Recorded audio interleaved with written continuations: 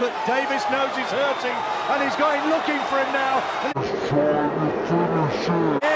he puts him down with the left hand. Steady legs, he looks as though he's gone here, Walsh. One more and it's all over, he stopped it.